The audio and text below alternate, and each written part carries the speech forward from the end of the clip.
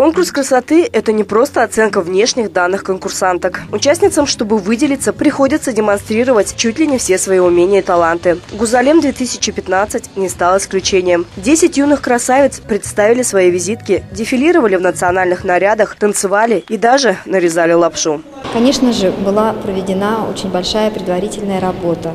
Наверное, в течение недели можно сказать, что девочки жили в Центре творчества, каждый день репетировали, и произношение, и походку, готовили наряды, спортивный танец ставили. В общем, я думаю, что выложились на все сто процентов.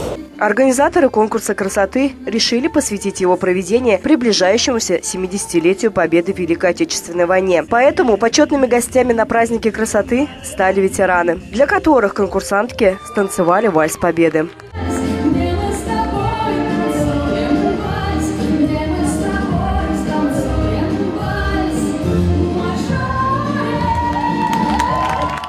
Городской конкурс красоты проводится уже более 20 лет подряд. В нынешнем году в Гузалем приняли участие ученицы первого лицея Башкирской гимназии 6, 8, 9, 10, 14 школ города.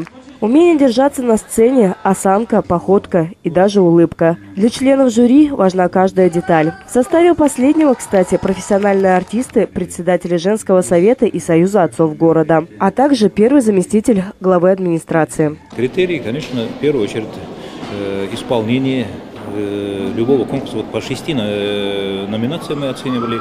По всем только балл, десятибальная система, только по баллам. Кто наибольшее количество баллов набрала, стала обладателем гран-при.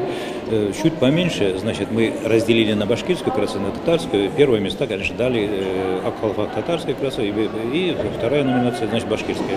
Вот по бальной системе выводили, э, а так, я бы сказал, впечатление очень хорошее. Все они достойны, все они красивые. 20-минутный подсчет итогов. И вот она, победительница Гузалем 2015. Гульнас Фаукиева. В конкурсе красоты девушка участвует впервые, хотя мечтала об этом давно. Мы готовились к конкурсу на протяжении трех недель. А, были серьезные и упорные подготовки. Я очень рада, то, что я выиграла Гузалим 2015 Гран-при. А, все девочки были хорошие. Ну, значит, так, значит, я самая лучшая. Я очень рада. И моя мечта сбылась. Хочу посоветовать всем девочкам и девушкам. Идите к своей цели до конца. Почетное первое место разделили Регина Ахмадишина и Алина Гельметова. Девушкам присвоили титул «Татарской и башкирской красавиц». Не остались без внимания и другие участницы конкурса. Всем нефтекамским красавицам вручили ценные подарки и дипломы. Елена Иркеева, Ильшат Исламов. Время новостей.